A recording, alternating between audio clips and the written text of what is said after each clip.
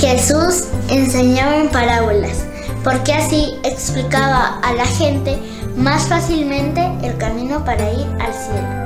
El padre Molina, que quería mucho a Jesús, nos contará la parábola del amigo inoportuno.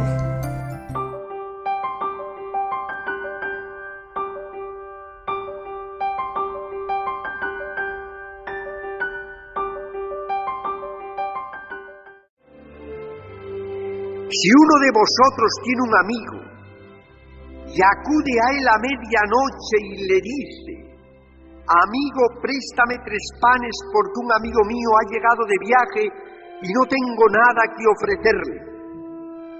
Y él le responde desde dentro, no me molestes, ya está cerrada la puerta y mis hijos están conmigo en la cama.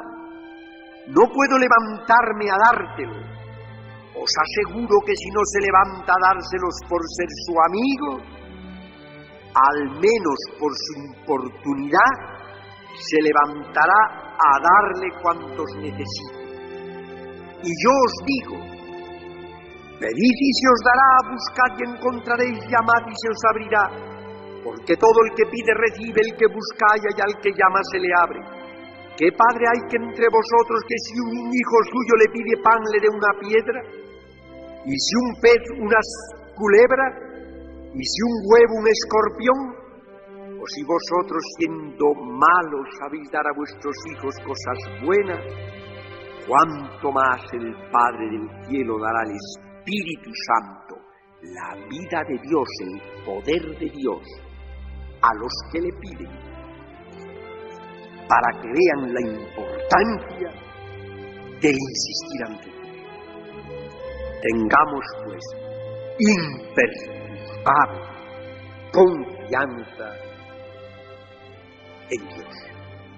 Imperturbable confianza.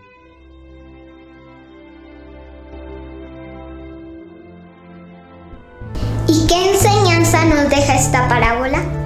Queridos amigos del Ejército Blanco, en esta parábola Jesús nos enseña que cuando rezamos debemos de tener confianza en Dios. Dios es nuestro Padre, Él nos ama, es todopoderoso y quiere nuestro bien. Por eso cuando rezamos, Dios siempre nos escucha. A veces parece que no nos da lo que pedimos, pero es porque Él sabe lo que no nos conviene y lo que no nos va a hacer bien. Siempre debemos de confiar mucho en Él en todas las situaciones de la vida. Gracias Padre Molina por enseñarnos a rezar a Dios y a la Virgen María con confianza.